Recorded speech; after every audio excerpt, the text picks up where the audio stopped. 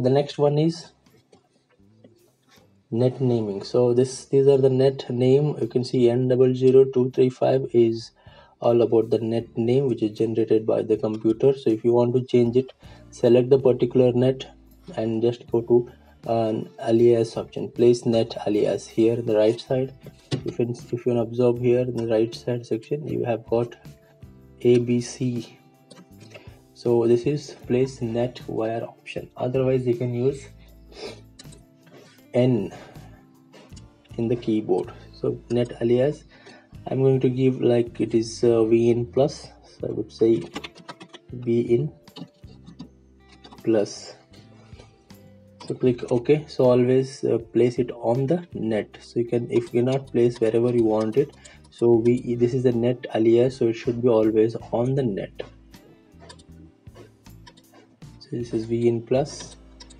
So I'll select this part. So I would say this is v in minus. So I can place it here. Wherever you want it you can place it. If you want to place a right click here you can go to rotate option. So or you press R button from the keyboard you can rotate it. You can place it V in minus this fine so this I will say like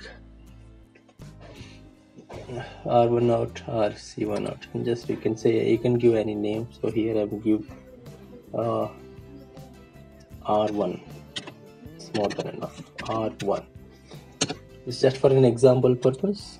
So keep R1 this is the net name of the so this particular part is now renamed uh, net is renamed to v in plus and this is renamed to v in minus and this is renamed to r1 so this is all about the net name creation